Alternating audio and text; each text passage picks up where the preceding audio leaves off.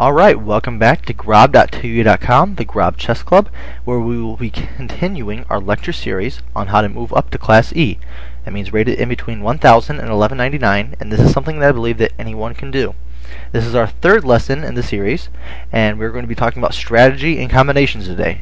And I believe that if you follow this lesson, uh, practice it, and the ones before it, there's no reason you should be uh, shouldn't be able to get past 500. So, let's begin. Alright, the most important piece of strategical advice I can give you as a beginner is that you need to control the center. Alright, what do I mean by that, the center? The center of the board consists of four squares. E4, D4, D5, and E5. If you go from any side of the board, those are the middle squares. So if you can't remember the names of them right now, just remember that they are the ones in the middle. And the reason that you need to control these squares is that when you get pieces on them, or pawns on them, you're going to control most of the rest of the board. Um, a queen in the middle controls many more squares than a queen on the side of the board. And we're going to see that with many of the pieces. So by controlling the center, you control the game. So, how do we go about controlling these squares? Well, with the pawns, we're going to start out in the beginning of the game. The pawns want to control the center of the board just as much as the rest of the pieces. So, in the beginning of the game, you want to make a pawn move that controls one of those four squares. So, a common move is e4. Now, this move controls e4 that it's on, and it also indirectly controls d5 because it attacks it. So, by moving that one pawn, you now control half of the center squares. And then a usual black reply will be something like e5. Now black controls two of the squares. He controls e5 and d4. So, in the beginning of the game, you want to move pawns to the center so that you control more center squares. And in the beginning of the game, you typically want to move one or two pawns. It's not always, but you usually want to move one or two pawns to the center of the board so that you can have as much control as possible. Alright, now we're going to move on to the knights. Knights belong in the middle of the board just as much as the rest of the pieces. So, when you start out a game, you don't want to put a knight on the side of the board. By putting a knight on the side of the board, just count how many squares you can go to. Knight from the side of the board where we're at can go to one, two, three, four squares. Let's just pretend this pawn isn't here.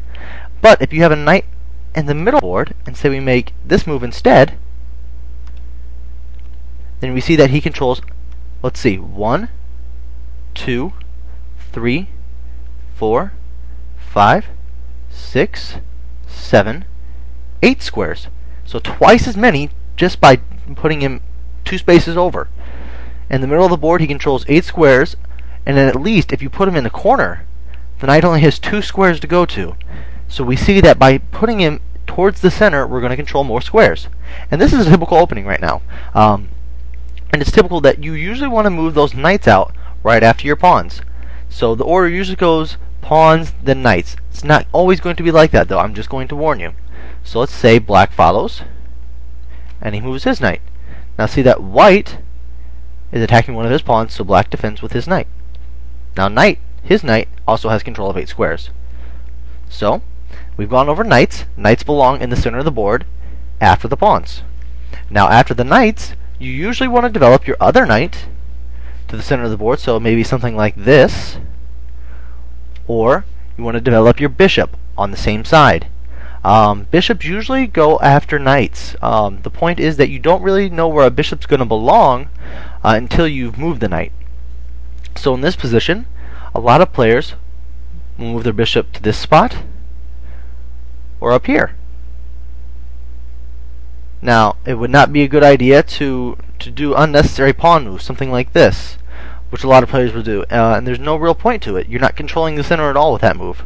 Um, and by not controlling the center, you're going to allow your opponent to get there first, and they're probably going to have better control of the game. So, let's just say white goes and he moves his bishop to the center. And black follows and moves his bishop to the center. Very uh, symmetrical, you might say. So, pawns, knights, bishops, and then uh, as soon as you can, you usually want to try to get your king safe.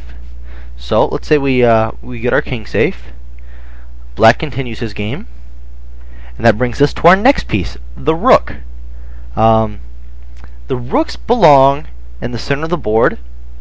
They don't necessarily have to be in the direct middle, but they need to be somewhere where they will control the center of the board. So say white moves his, his rook here.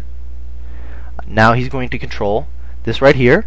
And say this pawn were to move, he's going to control the e5 square. Oh, let's take that back. So by moving his rook here, he indirectly has control of, of two pieces right of, of these two center squares right now. And we see that each move that uh, white and black are making uh, makes some kind of influence on the center. So let's continue. Um, a lot of beginners, um, they're going to play moves like a4, which we know is bad because um, it moves the pawn that's not towards the center. He's not controlling the center at all. Let's say black does make a good center move, and then I see a lot of uh, players will move their rooks out, trying to get them out like this. First of all, this is a horrible move because black can take the rook, and we know that bishops are worth less than rooks, so black's going to give up 3 points to get 5, and that's going to be a really good idea. But even if black doesn't take, the rook doesn't belong like he doesn't belong there. He's going to have to move again to get to the middle of the board. So usually you want to wait to move the rooks until your king is safe uh, and all your other pieces are developed. So that's just a general rule. Uh, some more things for you to remember. And finally, we're going to talk about the queens. I said a lot of players when you start out will begin uh, begin using the rooks, but even more of them will move their queens out too early. You might see something like this. And in something like this, um, White has moved his queen out too early. He's also moved his bishop before his knight. So those are two things you're generally not supposed to do. Um, and black's been developing everything towards the center and in the order that he's supposed to. So black is doing everything right here, white's doing everything wrong, um, but we see that white is trying to threaten checkmate in one move. With uh, if black does nothing, he will take this pawn here. But uh, there's no reason that black shouldn't have some kind of advantage here. Um, and that's because he could just chase it away. So let's see him chase the queen away.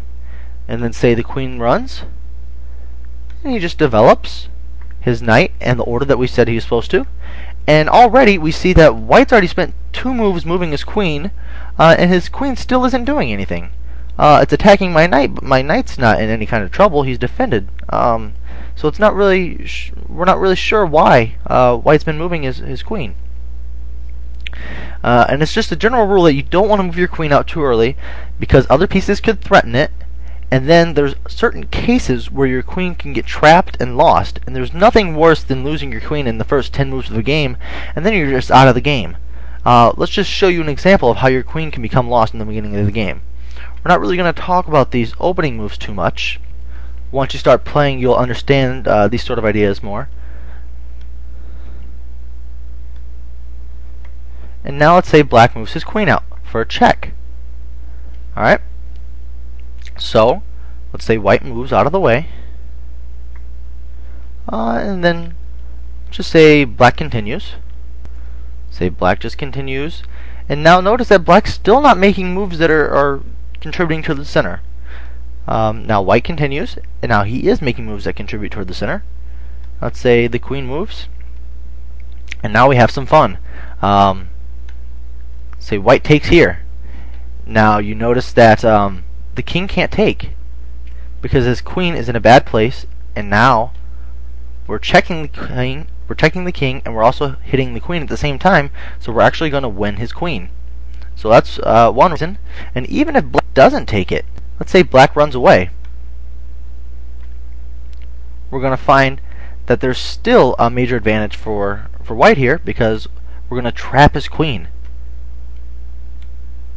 so his queen runs. That's the only space it can go to. So now we play knight c3. And the idea is that if black doesn't do anything, we're going to be able to move our knight here. And we're going to be able to attack his queen. And it's completely trapped.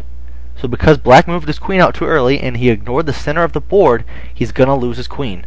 So the only move he can do to stop that, right here. But after we move bishop to d, uh, move d4, the bishop has to move away, and now we do trap the queen. He's going to have to give it up, and white's going to win the game.